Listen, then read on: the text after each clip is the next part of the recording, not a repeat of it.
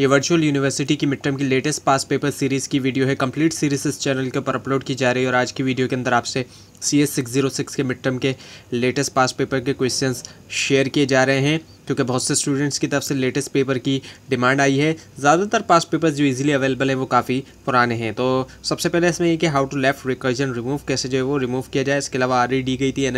F बनाना था parser और उसकी टाइप इसके अलावा बताना था कि गिवन स्टेटमेंट एम्बिगस यानी रीज़न भी देने थे, और write regular expression ending in B B A और इसके अलावा A equals to A plus B right in token type word और एलिमिनेट करना लेफ़्ट रिकर्जन तो